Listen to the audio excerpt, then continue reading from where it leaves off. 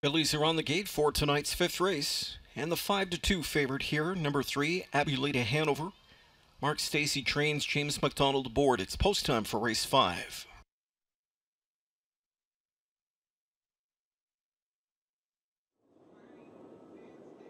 Here they come. They're off and pacing far outside. Soft wind Hanover marching off the gate to grab that early lead.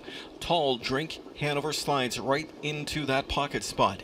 Then it's Beauty on the Beach in at the railway neatly third. Carousel deposited at the rail into fourth. Laid parked out from in fifth is Abuleta Hanover as they drive into the opening turn. Then sixth and off the speed goes Fool Me again. Further back to Beach Bar from in seventh. Fargo Hanover next to last and trailing is Sky High Ambition. By the quarter in 29 and 1. Miller's on the move now from the pocket spot to the top goes Tall Drink Hanover as the Captain Treacherous filly grabs the racetrack. Here comes Beauty on the beach to put immediate pressure on that new leader. So they scrap by that 3 8 pole and it's Beauty on the beach up to grab the top spot for McNair.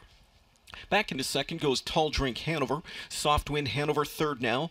Carousel fourth inside. Abuleta Hanover from in fifth. Sixth, waiting on her covers, Fool Me Again. Tipped out seventh, Beach Bar waits for them to get rolling in front of her. Further back at the rail to Fargo Hanover. And last is Sky High Ambition. They've gone a half in 58 and 2, so consecutive 29 and 1 quarters open it up. They're into the far turn on their way to three quarters, and the race leader is Beauty on the Beach. Beauty on the Beach getting things her own way here for McNair. She's on top by almost two lengths sprinting away. The plugs are out. It's go time. Right there in the pocket spot. Tall Drink Hanover now first over third is Carousel driving quickly in the rim. On her cover outside is Abuleta Hanover three quarters up in 126 and 4. And they're into the stretch now. And it's Beauty on the beach. Still good to go. Leading it by a pair of lengths. Tall Drink Hanover with a peek at the pylons now as the leader starts to drift. Beauty on the beach is still there. She's out in the four path though late. Scooting up the inside comes Tall Drink Hanover. Tall Drink Hanover closing up the cones after Beauty on the beach, and it's Tall Drink Hanover scooting up the inside to win it. Beauty on the beach was a drifting second.